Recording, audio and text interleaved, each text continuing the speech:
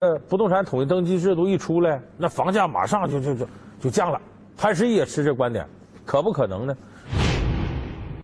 在我看，可能性不大。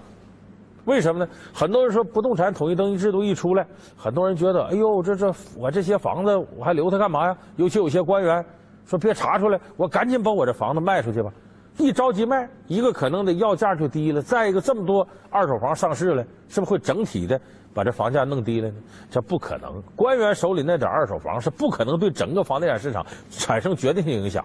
房价涨与跌呢，和土地有关，和刚性需求有关，跟这个贪污腐败关系不是很大。哎，它跟炒房可能也有关系，但跟炒房的关系都远远比跟腐败的关系要大得多。那么，为什么像潘石屹这样的房地产行内的人都说，这个一出台这个不动产统一登记制度，有可能房价就一下就跌下来呢？是因为他看到了下边几步，就是不动产统一登记制度要确立以后，有可能房产税、房地产税就开始推行。因为什么？原来你看现在我们几个城市搞房产税征收试点很不成功，因为不知道每个人名下多少套房子，也没有实现联网统一登记谈不上，所以这房产税收的呢就别别扭扭的。你这一下统一联网了，信息一畅通了，你多少房子都知道了，那好，我这房产税征收的那可就顺利了，那等于披荆斩棘的，很容易就往前推进了。所以有人说，这一下子容易造成房产税、房地产税征收，这一征收，你想你要多套房子，炒房的人买了那些房子，多征税了，他在持有环节他成本提高了，拉倒吧，我别炒了，我都卖了吧，这样投机炒房的水分挤出来，是不是房地产就回归理性，价就降下来呢？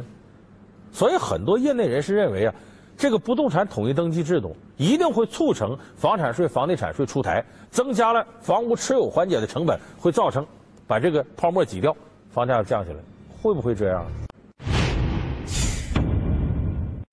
以我的理解，他是给他创造了条件，但创造的条件不等于就要征这个税。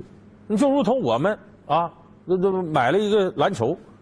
你拥有了一个篮球，不等于你天天到运动场去打去，你可能搁在家里头不玩呢。所以它是这个道理。所以我说，如果房产税、房地产税不能够征收的话，那么就不会把市场缓解这种呃投机炒房啊、大量囤房的现象消除掉。所以它对房价的影响就会非常有限。所以你看，不动产统一登记制度出台，我认为还是我原先那个观点，就是保护产权所有人的合法权益，防止交易过程当中出现大量的欺诈现象。这是主要目的。至于对反腐的推进，它作用有限；至于对降房价的作用，微乎其微。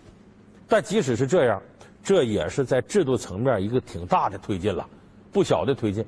你看，就现在选择呃不动产统一登记的试点都是二线城市。为啥二线城市？二线城市这些产权像商品房这样也挺多，情况也不是很复杂，所以呢，登记过程当中的阻力小，推进起来可能更加容易一些。所以这选择二线城市，用二线城市做试点，也说明呢政府要推进不动产统一登记制度这个决心。那么这个制度推进了，我们现在暂时可以不考虑它反腐啊和降房价。我刚才说用处都不是决定性的，但是它能保护产权人的合法权益，这已经是对市场经济一个很大的推动。但是它最终能不能达到这样的效果呢？咱们实事求是说，好多政策呀制定都是好的。可是执行过程当中，往往会出现偏差，我们也只能是对未来它的执行过程当中情况抱以期待，所以它最终到底能起到多大的效果呢？我们拭目以待。